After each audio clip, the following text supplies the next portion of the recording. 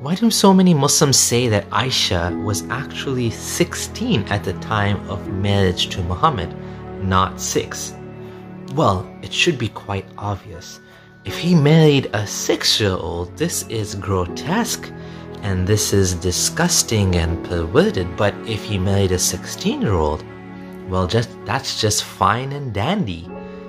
So, in order to save him from scrutiny, Muslims have started to reinterpret the stories of the Sirah to try to make Aisha seem like she was actually much older than the hadith indicate.